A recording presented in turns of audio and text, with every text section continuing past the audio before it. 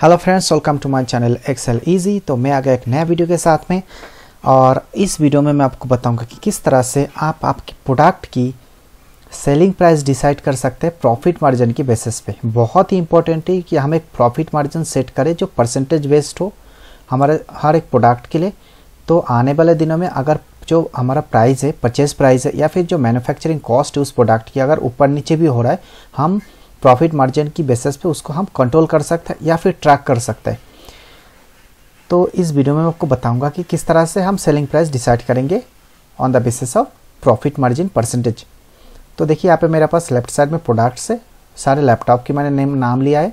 यहाँ पे हमारा परचेज प्राइस है और यहाँ पे profit margin percentage selling price उसका बेसिस पर ऑटोमेटिक यहाँ पे जनरेट हो रहा है।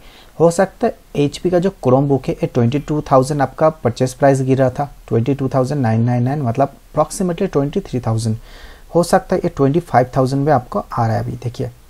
तो पहले का हमारा जो सेलिंग प्राइस था ट्वेंटी सेवन थाउज़ेंड में दे रहा था। ट्वेंटी वन परसेंट आपका प्रॉफिट मार्जिन था है ना? अभी सेम प्रॉफिट मार्जिन है। देखिए, अभी ट्वेंटी फाइव में आ रहा है तो ये आपको थर्टी थाउज़ेंड में आपको सेल करना पड़ेगा। पर काफ़ी टाइम क्या होता है, हम जो प्राइस है सेलिंग प्राइस उसको हम आ, इतना जल्दी उसको बढ़ा नहीं सकते हो। सकता है हम कस्टमर लूज होने की चांसेस हो या फिर हमने ऑलरेडी उसका जो प्राइस सेट कर दिया काफ़ी जगह पर हमने उसको पब्लिश कर दिया एडवर्टाइजमेंट कर दिया ब्ला ब्ला हो सकता है। तो हम जो प्राइस है वो इस तरह से आ, आ, मतलब ऑल अ सडन हम उसको इंक्रीज नहीं कर सकते जबकि हमारा परचेस प्राइस बढ़ जाता है। इस दौरान हमको क्या करना पड़ता है? हमको उसको ट्वेंटी सेवन थाउज़ेंड में रखना है तो हम उसको क्या करना पड़ेगा? प्रॉफिट मार्जिन जो है हमारा उसको कम करना पड़ता है। तो जैसे कि यहाँ पे हमारा एट परसेंट डाल दिया ट्वेंटी सेवन थाउज़ेंड रुपीज़ आ गया, जो पहले भी था। तो यहाँ पे देखिए, हमारा प्रॉफिट मार्जिन हमने घटा लिया है।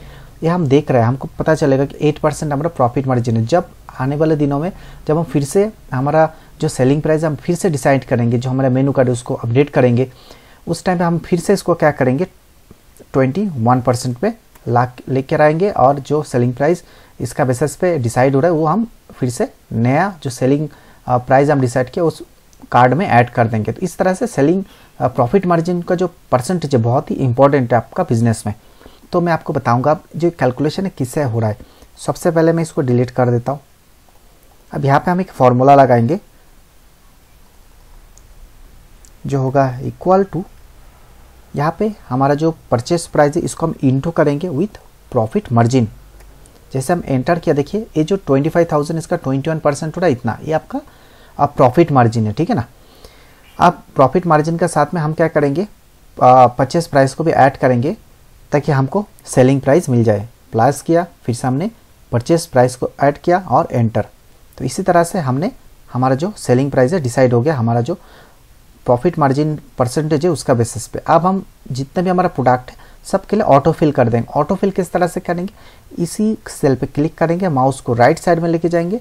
जब तक ना ये जो कर्सर देखिए, एक छो पतला सा प्लस बटन में चेंज हो जाए। जैसे चेंज होगा, हम उसको नीचे की ओर जितने भी प्रोडक्ट है ड्रैग कर देंगे। ऑटोमेटिकली हमारा जो फॉर्मूला है, सारे प्रोडक्ट की सेलिंग प्राइस यहाँ पे निकाल के दे देगा। तो फ्रेंड्स आई होप कि ये वीडियो से आपको कुछ नया सीखने मिला और ये जो कैलकुलेशन है, ये फॉर्मेट जो है बहुत ही बहुत ही इंपॉर्टेंट है आपका बिज़नेस के लिए और बहुत ही यूजफुल है। So thank you very much for watching this video